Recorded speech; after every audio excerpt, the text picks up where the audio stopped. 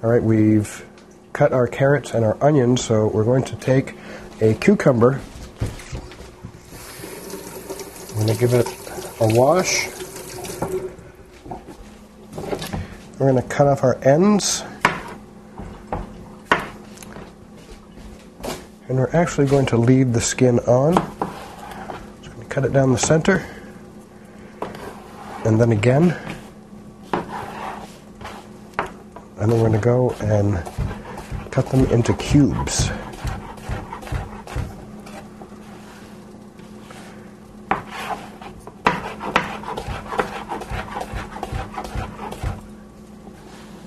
Push those in the back, and then we're going to take our cilantro and we're going to cut off the end here where our stems are. And then we're going to go ahead and cut that up